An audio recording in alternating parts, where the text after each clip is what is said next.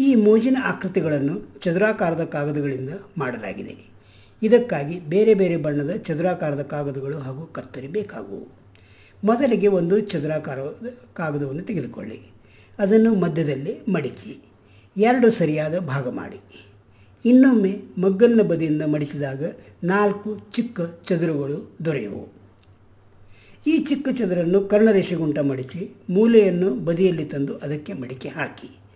ಈ ಚಿಕ್ಕ ತ್ರಿಕೋನದ ತಳಬದಿಯಲ್ಲಿ ಕತ್ತರಿಯಿಂದ ಕತ್ತರಿಸಿ ಬೇರ್ಪಡಿಸಿ. ಈಗ ಈ ಕಾಗದವನ್ನು ಬಿಚ್ಚಿದಾಗ ನಿಮಗೆ ಅಧಿಕದ ಚಿಹ್ನೆ ದೊರೆಯುವುದು. ಇಲ್ಲವೇ ರೆಡ್ ಕ್ರಾಸ್ ಚಿಹ್ನೆ ದೊರೆಯುವುದು. ಇದೇ ಕೃತಿಯನ್ನು ನೀವು ನಿಮ್ಮ ಮೂರು ಗೆಳೆಯರಿಗೆ ಮಾಡಲು ಹೇಳಿ. ಇಲ್ಲಿ ನೀವು ಕಾಗದದ ಮಡಿಕೆಗಳು ಯಾವ ಬದಿಯಿಂದ ಮಾಡಬೇಕು ಎಂಬುದನ್ನು ಹೇಳಬೇಡಿ.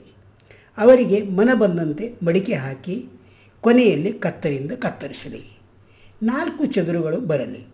ಕರ್ಣರೇಷೆಗುಂಟ ಮಡಿಕೆ ಹಾಕಲಿ, ಮೂಲೆಯನ್ನು ಮಡಿಸಲಿ ಹಾಗೂ ಕೊನೆಗೆ ಕತ್ತರಿಸಲಿ. ಪ್ರತಿಯೊಬ್ಬರು ಆ ರೇಷೆಗುಂಟ ಕತ್ತರಿಸಲಿ. ಈಗ ಈ ಕಾಗದಗಳನ್ನು ಬಿಚ್ಚಿದಾಗ ಬೇರೆ ಬೇರೆ ಆಕಾರಗಳು ಕಾಣುವವು. ಮಡಿಕೆಗಳು ರೀತಿ ಒಂದೇ ಇದ್ದರೂ ಬೇರೆ ಬೇರೆ ಬದಿಯಿಂದ ಮಡಿಕೆ ಹಾಕಿದ್ದರಿಂದ ಈ ರೀತಿಯಾಗಿ ಬೇರೆ ಬೇರೆ ಆಕಾರಗಳು ದೊರೆತಿವೆ. ಹೇಗಿದೆ ನಮ್ಮ ಈ ಮೋಜಿನ ಆಟ?